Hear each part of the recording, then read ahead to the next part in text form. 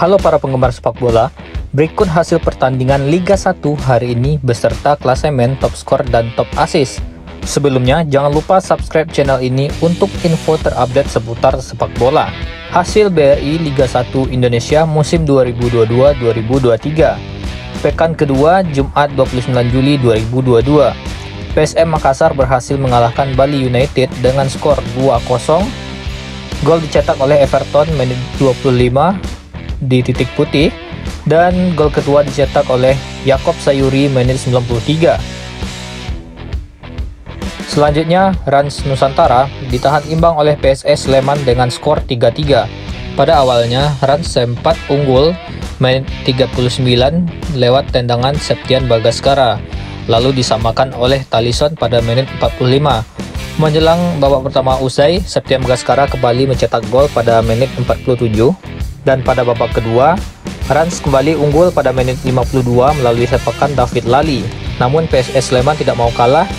Mereka menyusul dengan gol Z Valente pada menit 65 dan terakhir Dev Mustaine pada menit 78 dan laga pun berakhir dengan skor imbang 3-3. Untuk klasemen sementara, peringkat satu ada PSM dengan 6 poin, disusul Madura di peringkat 2 dengan 3 poin, lalu ketiga ada Borneo keempat ada Persita, kelima ada Dewa United, keenam ada Persikabo, ketujuh ada Bali United, peringkat 8 ada Rans, dan peringkat 9 ada Bayangkara, dan 10 ada Persib. Di peringkat 11 ada PSIS, peringkat 12 ada PSS, peringkat 13 ada Persis Solo, nomor 14 ada Persebaya, nomor 15 ada Persija, dan peringkat 16 ada Persik, Peringkat 17 ada Arema dan terakhir nomor 18 ada Barito.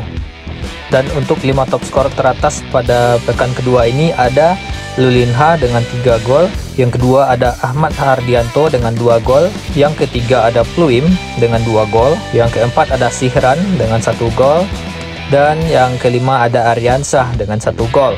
Dan 5 top assist di pekan kedua ini ada M Hargianto dengan 2 assist dan Messi Doro dengan dua assist, Emil Saldi dengan dua assist, Bae Shin Yong dengan satu assist, David Da Silva dengan satu assist. Nah, demikianlah update kali ini. Sampai jumpa di video-video selanjutnya.